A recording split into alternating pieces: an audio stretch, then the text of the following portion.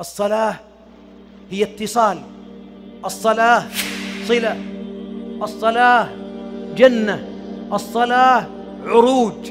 الصلاة ربك ليس بينك وبينه أي واسطة ولا ترجمان تحدثه فيرد عليك كفاحا.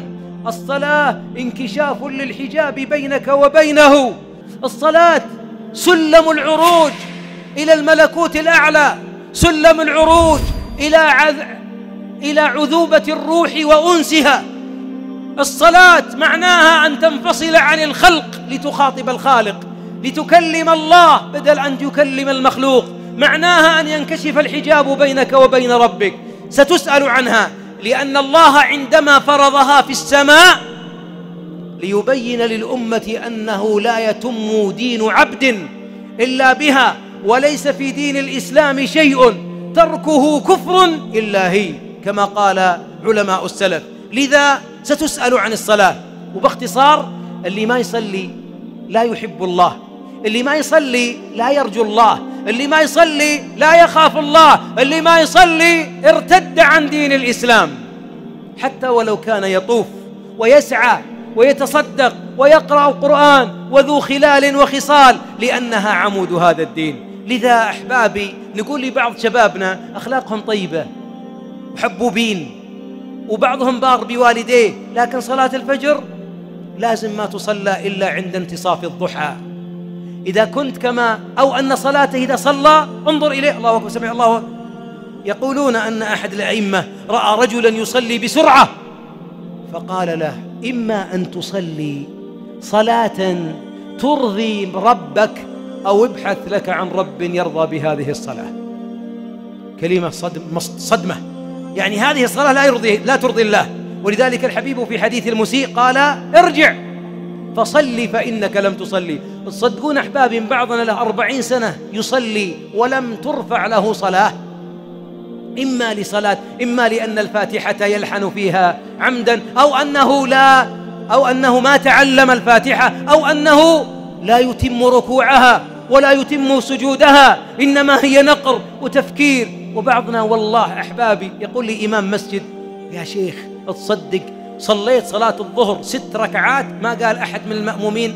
سبحان الله قلت أنت مصلي في بموتى أم أحياء قال والله وراي يا شيخ أسمعهم. ما يدرون قلوبهم انشغلت. ولذلك في الصلاة قد يرفع لك الصلاة كاملة وقد ترفع شطرها عشرها وقد لا يرفع منها ركعة. إذا من الأسئلة عن صلاتك ودعوة للي يصلي حسن صلاتك. واجعلها خاشعة وأكثر من النافلة حتى تتمها. يا بني كثرت مشاكلك وكثرت الحوادث ولربما في عملك أنت غير مرتاح ولربما يكيدك بعض الناس. ولربما يكتب فيك من مدير العمل فتفصل أو يحسم عليك أو تنقل. أتدري لماذا؟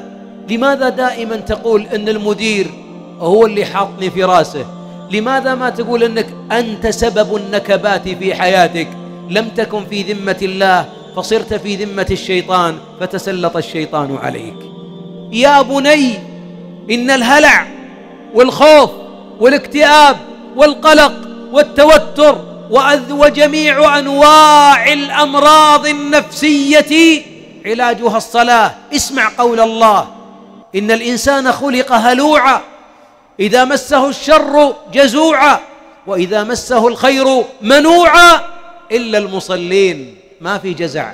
ما في هلع. في طمأنينة. يا بني أمنياتك لا أحققها لك. ولو كان والدك أغنى الخلق. ولو كان والدك أعلى إنسان ممن وهب ممن وهب الجاه والمال والله أمنياتك لا يحققها مخلوق. أمنياتك يحققها الخالق. فاجعل أمنياتك في سجدة. واسكب على الأمنيات دمعة. وقل يا رب يأتيك بالأرزاق من حيث لا تدري.